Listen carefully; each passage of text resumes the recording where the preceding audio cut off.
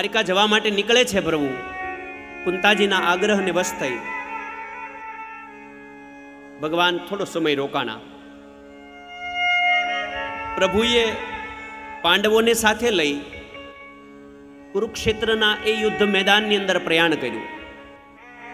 પાંચ પાંડવો સહિત કુંતાજી, દ્રૌપદી આદિને સાથે લઈ વિનય સાથે કે તમે મને રોક્યો જ છે? તો કંઈ તમને પ્રાપ્ત થાય એ માટે તમે મારી સાથે ચાલો. હું તમને કોઈ દિવ્ય દર્શન કરાવું. કુરુક્ષેત્રના એ મેદાનની અંદર, આપસની અંદર ભાઈઓ ભાઈઓનું યુદ્ધ થયું. એટલો મોટો નરસંહાર થયો. એટલા માણસો મરી ગયા. કોઈના હાથ કપાણા, કોઈના પગ કપાણા, કોઈનું મસ્તક કપાણું, કોઈના ધડ કપાણા. લોહીની જાણે નદીઓ વહે. એનું વર્ણન કરતા જાણે આપણા હૃદયમાં કંપારી ઉઠી જાય. એવા એ કુરુક્ષેત્રના કાળ સમાન મેદાનની અંદર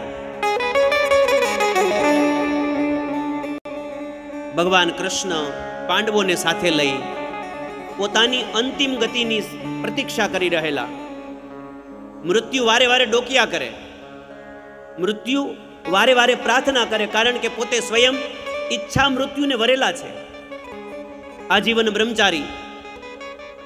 મૃત્યુ વારે વારે આવીને વિનંતી કરે, મહારાજ, મારો સ્વીકાર કરો, મારો સ્વીકાર કરો. કહે કે, હમણાં ધીરજ રાખ. કોઈ મને દર્શન દેવા માટે આવે, એનું દર્શન કરી લઉં. પછી હું તારો સ્વીકાર કરું. ભગવાન કૃષ્ણ પાંડવો દ્રૌપદી અને કુંતાજીને સાથે લઈ પિતામહ ભીષ્મની પાસે કુરુક્ષેત્રના એ મેદાનની અંદર લઈ ગયા.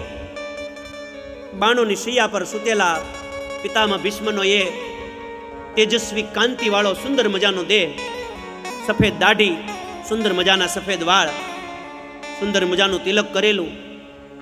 અંત સમયે પડેલા છે પણ હરિનું નામ મુખારવિંદની અંદર સતત હરિનામ સ્મરણ. અને પરમાત્મા એને દર્શન દે અંત સમયે કે જે સતત એનું સ્મરણ કર્યા કરે, એનું નામ સંકીર્તન કર્યા કરે. નહીં તો ભગવાન કઈ નવરો થોડો છે કે આપણે એને માનતા કરીએ કે હું તમને બે શ્રીફળ વધેરું તમે મારું આ કામ કરી દો બે શ્રીફળની કિંમત શું? વીસ ને વીસ, ચાલીસ રૂપિયા. તો ચાલીસ રૂપિયામાં ત્યાંથી અહીં ધક્કો ખાય? કોઈ દિવસ ના આવે. એને પૈસો નહીં, એને પ્રેમ પકડી શકે. જેવો મીરાનો પ્રેમ, જેવો નરસિંહનો પ્રેમ, જેવો મા રાધિકાનો પ્રેમ. અંત સમયે પિતામાં ભીષ્મની એ ગતિને દર્શિત કરવા માટે ભગવાન કૃષ્ણનું ત્યાં આગમન થયું. પાંચ પાંડવોને ચરણોની બાજુમાં ઊભા રાખ્યા. સ્વયં કૃષ્ણ ભગવાન પિતામાં ભીષ્મને સારી રીતે દેખાય નહીં. એ રીતે દૂર ઊભા રહ્યા. ભાગવતના સમન્વયની સાથે સાથે આ પ્રસંગમાં વૃંદાવનના કોઈ સંતોની ટીકા જે મેં શ્રવણ કરેલી છે, એને પણ હું મેળાવું છું. એટલે કદાચ આ પ્રસંગ સંપૂર્ણ ભાગવતની સાથે સાથે તમને ન લાગે. પણ મને ગમ્યું છે સંતોની ટીકા માટે મારી મતિ અનુસાર હું તમને આ પ્રસંગ એ સંતોની ટીકાને સાથે લઈ અને દર્શન કરાવવા પ્રયાસ કરું. અને સંતે એટલી સરસ ટીકા કરી કે એ સમયે કદાચ એ ત્યાં પિતામાં ભીષ્મના અંત સમયે સામા ઊભા હશે. એવી ઝીણવટભરી નાની નાની નાની નાની વાતો એક એક વાતોનો સમન્વય કરીને જોડવાનો પ્રયાસ કર્યો છે. કુંતાજીને જોયા, પાંચ પાંડવોને જોયા, દ્રૌપદીને જોઈ. પણ ભીષ્મ વિચાર કરે કે જેનું મારે દર્શન કરવું એ જનાર્દન ક્યાંય દેખાતો નથી, ક્યાં હશે? ચારે દિશામાં પિતામાં ભીષ્મની દ્રષ્ટિ ભગવાન કૃષ્ણને ગોતે છે. આંખોની અંદર અશ્રુની ધારા લઈ વિચાર કરે કે જો એ નંદ ભગવાન રાધાવનનું દર્શન નહીં થાય, તો તો મારી અંત સમયની આ ગતિ વ્યર્થ જશે. હે નારાયણ એ કમલનયન એ કેશવ એ કુંજ બિહારી તું ક્યાં છે? અને જીવાત્મા જ્યારે આર્તનાદથી પ્રભુને અંત સમયે યાદ કરે, એના કરોડો પાપો ક્ષણવારની અંદર નાશ પામે. પણ અંત સમયે એ અનામીનું નામ મુખારવિંદ પર આવવું છે. એ એની કૃપા હોય તો આવે. પિતામાં વિશ્વ વિચાર કરતા કરતા એના માનસ પર ભગવાન કનૈયાના વિચારો સુંદર મજાના અને એના વિચારોને લઈ અને પિતામાં એમાં જરાક ડોકિયું આમ હલાવતા હલાવતા, કારણ કે ડોકી એની ડોક વધારે હલે એમ નહીં હતી. એના બાણોની જે સૈયા મારેલી ને, એ રીતે બાણો પર પડેલા અને જરાક ગતિ કરીને જોયું, સહેજ વૃંદાવનના એક સંત કહે કે જરાક ઝાંખો ઝાંખો, ભગવાન કનૈયાનું પિતાંબર જે હોય, એ પિતાંબરનું ઉપવસ્ત્ર જે હોય એ ઉપ- ઉપવસ્ત્રને હવાથી ફર ફર ફર ફર ફરકતું જોયું. અને એ ઉપવસ્ત્ર જ્યાં દર્શનમાં આવ્યું, પિતામહને થયું કે બસ, નક્કી ભગવાન દ્વારિકાધીશ આવ્યો. હવે ઉપવસ્ત્રની ઉપર ઉપર નજર કરતા જાય કે ઉપવસ્ત્ર કોના ખભા ઉપર છે. એ ઉપવસ્ત્રના છેડાથી લઈને ધીરે ધીરે પિતામહ ભીષ્મ આમ જોઈ શકે એવી સ્થિતિમાં નથી. અંત સમયે અને જ્યાં એ ખભા સુધી પૂગ્યા કોમળ દેહધારી વિશાળ ખંભાઓ અને બાજુઓ. ભગવાન કૃષ્ણની વાંકડી લટ જોઈ એના વાળ ફરફર થાય, ઉડે. પિતામાં ભીષ્મને નજરમાં આવ્યું. આગળ મુખારવિંદ પર દર્શન કરતા જોયું તો સુંદર મજાનું ચંદ્રવંશનું એ તિલક. નંદ નંદન ભગવાન યાદવ શિરોમણી કનૈયાને જોઈ. પિતામાં ભીષ્મ કહે, મારું જીવન સફળ થયું. સાથે સાથે મૃત્યુ પણ સફળ થયું. પિતામાં ભીષ્મ હવે કનૈયાની સાથે વાતો કરે, શાસ્ત્રમાં નથી બતાવી આ વાતો વૃંદાવનના એ દિવ્ય સંતોએ કરી છે. એક દ્રષ્ટા બની અને વાતોને શોધવાનો પ્રયાસ કર્યો છે કે એ સમયે ભગવાન માનસિક રીતે પિતામાં ભીષ્મની વાતો સાંભળે છે. માનસિક વાતો યાને ટેલિપેથી. એક વ્યક્તિ બીજા વ્યક્તિને માનસિક સંદેશ મોકલે. અને ટેલિપેથી ઉપરથી ટેલિફોનની શોધ થઈ. આપણે અહીંયા હોઈએ ને આપણે અમેરિકા ફોન લગાડીએ ને, એ આ જ માનસિક સંદેશ એક પ્રકારનો. એની ઉપરથી આ શોધ થઈ મોબાઈલની, ટેલિફોનની. પિતામાં ભીષ્મ અંત સમયે ભગવાન કૃષ્ણને કહે, હે કેશવ, હે કુંજ બિહારી, એવા કયા કર્મ છે કે જેથી આટલી જગ્યાએ મને વેદના થાય? એટલા મને બાણ લગાડ્યા. એક જ બાણ નાભીમાં મારે તો દેહને છોડી દઉં. તો આટલી બધી જગ્યાએ બાણ શા માટે? આજીવન બ્રહ્મચારી હોવાના કારણે પોતે પોતાનું આગળના અવતારોને જાણી શકે. એવી ક્ષમતા. વિચાર કરી, મેં ઘણા અવતારોમાં દર્શન કરતા પ્રયાસ કર્યો. પણ ક્યાંય મને એવું દેખાણું ને કે મેં કોઈને આટલી પણ કસોટી આપી હશે. મારા શરીરમાં આટલી બધી જગ્યાએથી લોહી નીકળે? ભગવાન કહે પિતામાં એક અવતારની અંદર તમે ક્ષત્રિય રાજા હતા. ઘણા આગળ અવતારો પહેલા. એ સમયે બીજા ક્ષત્રિય ઉપર તમે ચડાઈ કરી તમારા શુરવીર, શૌર્ય અને બળ, બુદ્ધિ અને ચતુરતાને જોઈ, તમારી યુદ્ધની એ નીતિ એને જોઈ. સામેના ક્ષત્રિયના અહીંયા જાણે ડોલી ગયા. થરથર કાપવા લાગ્યો તમારીથી. એવો તમારો ક્ષત્રિય અવતાર એ સમયનો. એ માણસ તમારી આગળ, રાજા, એની પાછળ તમે કદાચ કદાચ અડધા કિલોમીટરનું અંતર તમારી બંનેની વચ્ચે. એમાં એ તમારીથી બચવા માટે આગળના ઘોડામાં, ઘોડાને લઈને આગળ ગતિ કરીને જતો રહે. પિતામાં ભીષ્મ પણ ક્ષત્રિયના એ શરીર પર લોહી લોહાણ ડાગ લાગેલા લોહીના ખુલ્લા શસ્ત્રને લઈને એની પાછળ દોડે, ઘોડા લઈને. વાંકી ચૂકી નળની અંદર બોલે, તમે પ્રવેશ કર્યો.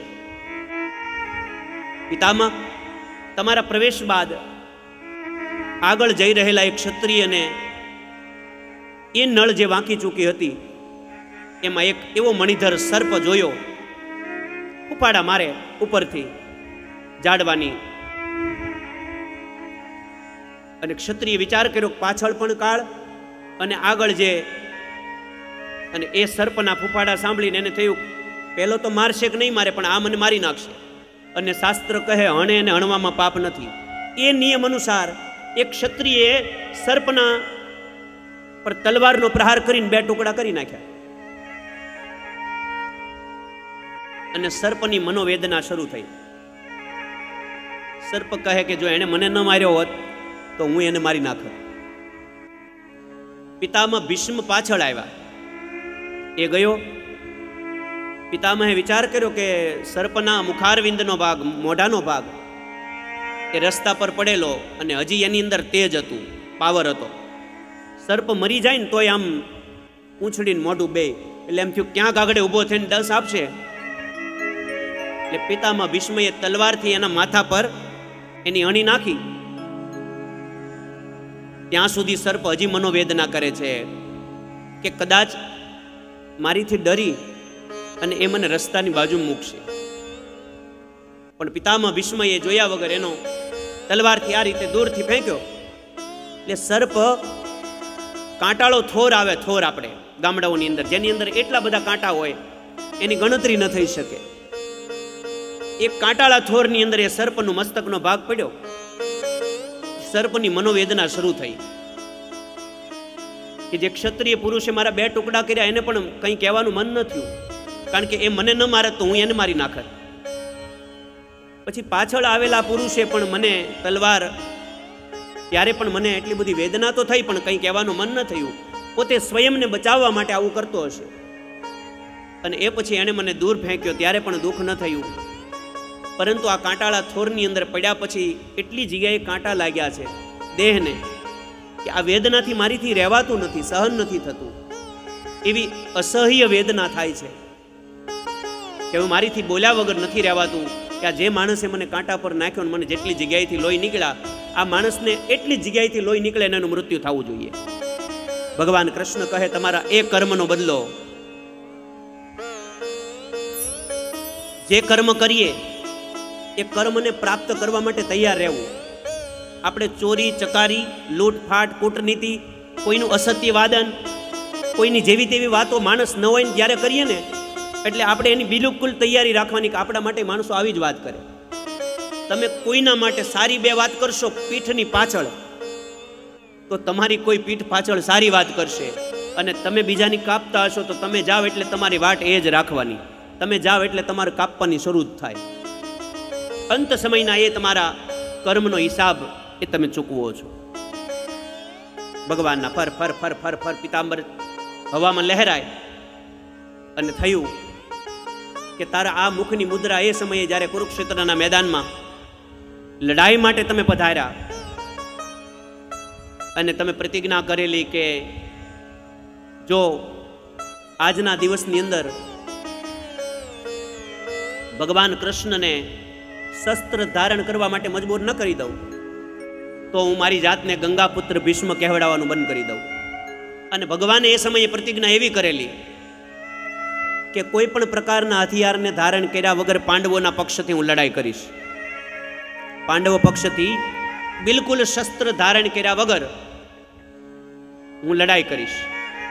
અને પિતામાં ભીષ્મને દુઃખ લાગ્યું એમ થયું કે આજ કાં અર્જુન નહીં અને કાં હું નહીં. અને કાંઈક એવી મુદ્રાની અંદર કાંઈક એવા ઠાઠ માઠ અને કેવા જોમની સાથે આવ્યા યુદ્ધમાં. બાણોની ક્યાંક એવી વૃષ્ટિ કરી, sir sir sir sir sir. એક બાજુ અર્જુન ઘાયલ થાય, એક બાજુ કૃષ્ણ ભગવાનને ચીરીને બાર બાજુમાં જાય, ખભાની બાજુમાંથી. ભગવાનના એ દેહનું દર્શન અને એક બાણથી ભગવાને જાણે પિતામહે ભગવાનના એ રથનું પૈડું ભગવાન એક બાજુ પડ્યા, અર્જુન પહેલી બાજુ પડ્યો. અને હવે પિતામાં ભીષ્મએ એક બીજું ધનુષ બીજું બાણ સરસંધાન કરીને વિચાર કરે કે અર્જુનની બાજુ હજી તો જ્યાં દિશા નક્કી કરી, એટલે કૃષ્ણ ભગવાન આ દ્રશ્ય જોવે પેલી બાજુ પડેલા છે મેદાનની અંદર. આ વાતો કોણ કરે છે? પિતામાં ભીષ્મ અને કૃષ્ણ. તારી એ મુખની મુદ્રા ભક્ત વત્સલ તને કીધો શા માટે? કે તે વિચાર કર્યો, તને મગજમાં થયું કે જો હવે આ બાણ પિતામાં ભીષ્મ સરસંધાન કરી દે અને જો અર્જુન પર વારે, તો અર્જુન હતો નહોતો થઈ જાય. અને એ જેવું બાણ સરસંધાન થયું, એટલે ભગવાન કૃષ્ણ વિચાર કરે કે મારે ધારણ શું કરવું હાથમાં શસ્ત્ર? અને એક મુઠ્ઠી, બીજી મુઠ્ઠી, ત્રીજી મુઠ્ઠી દસડાતા દસડાતા ભગવાન દ્વારકાધીશ એ પેલું પૈડું જે પડી ગયેલું હતું, રથનું, જેમ મૃગલાના ટોળાની અંદરથી ગજરાજ કેસરી નીકળે, એમ કે એવી મુદ્રાની અંદર ભગવાન નીકળ્યા ઊભા થાય એક કદમ, બીજો કદમ સરસંધાન કરી દોડ્યા. એક પછી ભગવાનનું વસ્ત્ર પડ્યું, ત્યાં ધરતી કંપવા લાગ્યું ધણ બોલે. વીજળી ચમકારા કરે આકાશમાંથી જાણે ગંભીર નાતો થતા હોય. ભગવાનની સામે પિતામાં ભીષ્મ અર્જુનને અને જ્યાં ભગવાને શસ્ત્ર ધારણ કરીને દોટ મૂકી, ત્યાં ખડખડાટ હાસ્ય કરતા પિતામાં ભીષ્મએ પોતાના શસ્ત્રને છોડી દીધું. શસ્ત્રનો ત્યાગ કરી અને ભગવાન કૃષ્ણની સામે હાસ્ય કરતા કરતા કહે, આપ કહ્યો, મેં શસ્ત્ર વીણ ભૂમિ હરવ સબ ભાર અમકો ક્ષત્રિય ના ગિનત અરે ગોવિંદ બોલીએ વચન વિચાર. તમે કહો છો પૃથ્વીનો ભાર હરણ કરવો એ પણ હાથમાં શસ્ત્ર ધારણ કર્યા વગર. તો શું અમારી જેવા ક્ષત્રિયો આ પૃથ્વી પર નથી કે જેથી તારે અવતાર લેવો પડે અને એ પણ શસ્ત્ર ધારણ કર્યા વગર? એની સામે પ્રત્યુત્તર આપતા ભગવાન નંદનંદન દ્વારિકાધીશ હાસ્ય કરતા કરતા ઉત્તર આપે, એની એ રૌદ્ર મુદ્રાને ત્યાગ કરી અને ભક્ત વત્સલ દિન મુદ્રામાં આવીને ભગવાન દ્વારકાધીશ કહે તોરી પ્રતિજ્ઞા કારજ મેં મોરી પ્રતિજ્ઞા તોરી. કે તારી પ્રતિજ્ઞાની લાજ રાખવા મેં મારી પ્રતિજ્ઞા તોડી કારણ જેટલો મને અર્જુન પ્રિય છે, એની કરતા બેવડો તું મને પ્રિય છે. પિતામાં ભીષ્મ, એટલો હું તને પ્રેમ કરું છું, હું તને એટલો પ્રેમ કરું છું. હે નારાયણ, તમારી એ મુખની મુદ્રા, એ તમારું રૌદ્ર સ્વરૂપ જોતા જાણે દિગ્ગજોના અહીંયા ડોલવા લાગે. હે નંદનંદન ભગવાન કૃષ્ણ ફરી પિતામહની એ વાતોમાં પોતાનો સ્વાદ પુરાવતા હોય, એ રીતે પાછું હાસ્ય કર્યું. અને હવે હાસ્યનો કાંઈક અલગ અર્થ કાઢે છે પિતામાં કોઈ માણસ મૃત્યુની પથારીએ પડ્યો હોય, ત્યાં જઈએ ને હાસ્ય ન કરાય. કોઈ માણસ મરણ પથારીએ પડ્યો હોય, ત્યાં જઈએ ને આપણને હસવું ન, હસવું આવતું હોય ને તો એ આપણે દૂર જતું રહેવું પડે. અને કાં આપણે રોવાનું નાટક કરવું પડે. આમાં મોટા ભાગના માણસો આવું જ કરે. માણસના મૃત્યુમાં જઈએ એટલે આપણને રડવા ન આવતું હોય ને, તોય આપણે નાટકના મગરના આંસુ લઈને જઈએ. નજીકના માણસો હોય, રડતા હોય, આનંદથી. એના હૃદયનો સ્નેહ હોય માટે આપણને કંઈ પરિચય નથી. એટલે આપણે ખોટા આંસુ લઈને જવું પડે. પિતામાં ભીષ્મને કૃષ્ણ ભગવાન કહે છે કે અત્યારે હું મરણ પથારીએ પડ્યો. અને તું રડે એનું કારણ શું છે?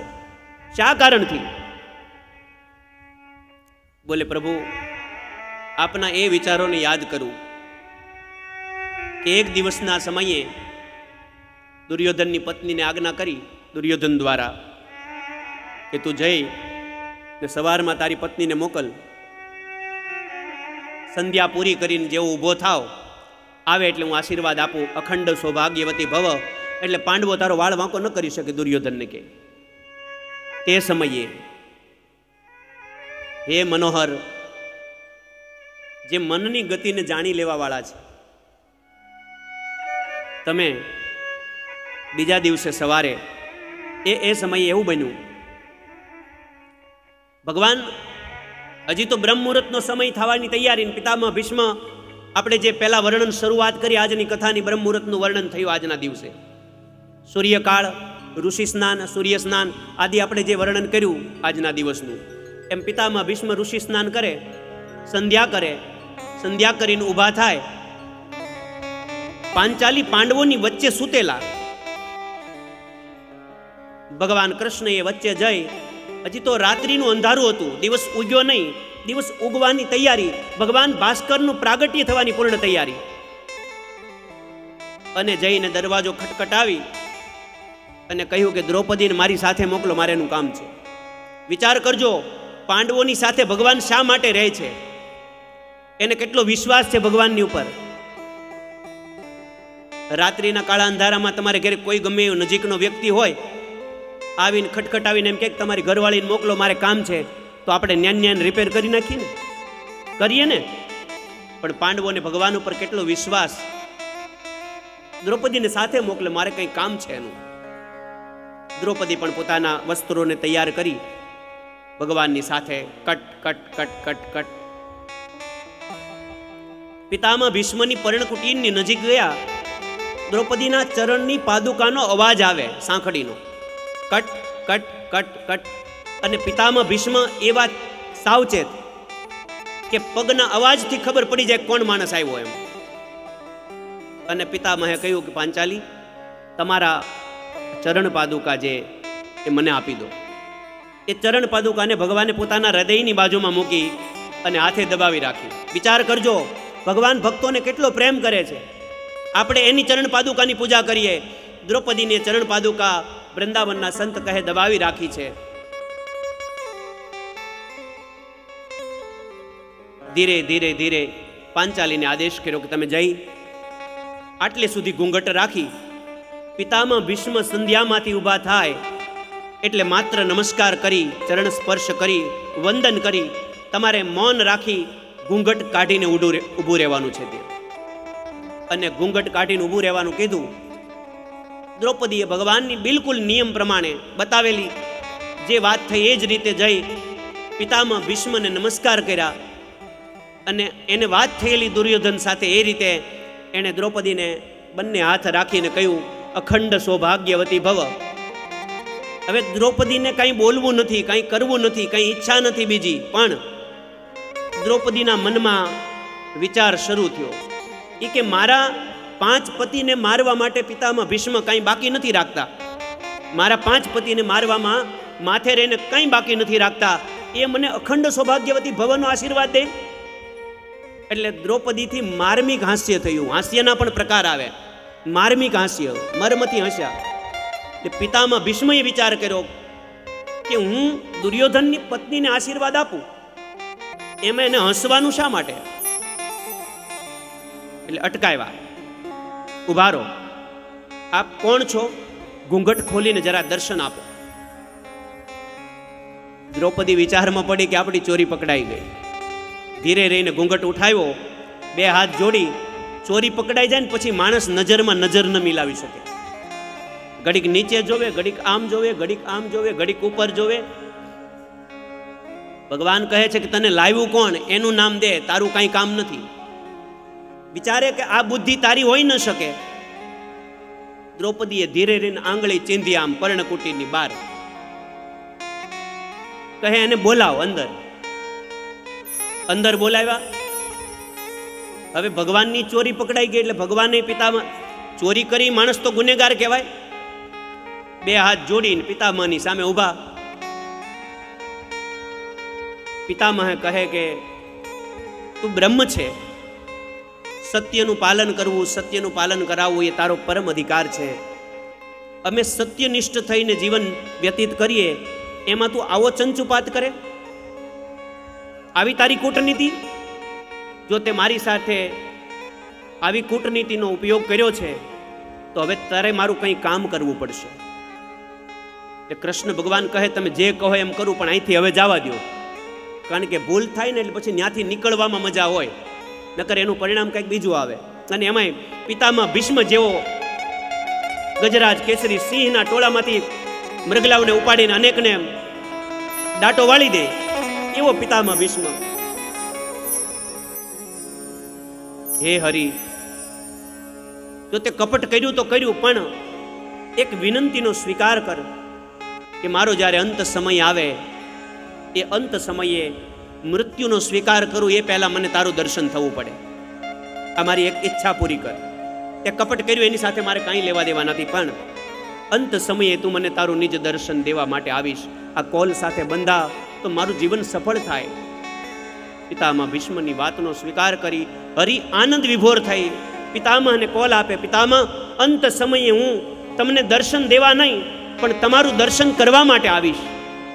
કારણ કે આપ આજીવન બ્રહ્મચારી માં ગંગાના પાવન પુત્ર છો. તમને દર્શન દેવાનો અધિકાર નથી. આપની જેવા મહાપુરુષનું હું દર્શન કરવા માટે આવીશ. અને પિતામાં અંત સમયે દર્શન કરવાની ભગવાનની સાથે વાત આનંદિત થઈ. કૃષ્ણને કહે, તારા એ અંત સમયની દીધેલી એ કોલ, એ વચન એ વચન પૂરું કરવા તમે પધાર્યા. હવે શાબ્દિક સંબોધન શરૂ થયું. અત્યાર સુધી માનસિક સંબોધનની વાતોમાં હતા આપણે. શબ્દો દ્વારા હવે વાતો શરૂ થઈ. પિતામાં કહે, પ્રભુ, તમે અંત સમયે દર્શન દેવા માટે પધાર્યા છો. તો એક કરુણા કરશો? બોલે, હા. મારી એક પુત્રીના વિવાહ મારે તમારી સાથે કરવા છે. શું કીધું? પિતામાં બોલ્યા કે, મારી એક પુત્રીના વિવાહ મારે તમારી સાથે કરવા છે. પાંડવો સહિત દરેકના કાન ચમકી ગયા કે, ભગવાન પિતામહની કોણ પુત્રી? એના લગ્ન ક્યારે થયા જેના? એના લગ્ન? અને પિતામાં વિચારમાં પડ્યા, સામે પાંડવો વિચારમાં પડ્યા, કૃષ્ણ ભગવાન વિચારમાં પડ્યા, અને સ્તુતિની અંદર પિતામાં ભીષ્મ કહે મતિરૂપી કલ્પિત, મારી મતિરૂપી પુત્રી, એ હું તારા ચરણની અંદર સમર્પિત કરવા માગું છું. મારી મતિરૂપી પુત્રી, મતિ અને પુત્રી? તમારી અને મારી જે મતિ હોય ને આપણી પુત્રી છે. આપણે એને જ્યાં લઈ જાય ત્યાં જાય. અને કહેવત છે કે દીકરીને ગાય, દોરે ન્યા જાય. મતિરૂપી પુત્રી પિતામાં ભીષ્મ કહે, હું તમારા ચરણોની અંદર સમર્પિત કરવા માંગુ છું. અંત સમયે ભગવાનની સ્તુતિ પિતામાં ભીષ્મ દ્વારા. ભક્તિ કરતા છૂટે મારા પ્રાણ. પ્રભુજી એવું માગું